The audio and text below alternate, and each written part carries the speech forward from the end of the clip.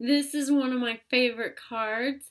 Q is has a best friend that he has always seen with. U is, his best friend. So in this picture, you can see that Q is pointing to his best friend and he's saying, You, I'm a best friend. So the Q is actually saying, You, I'm a best.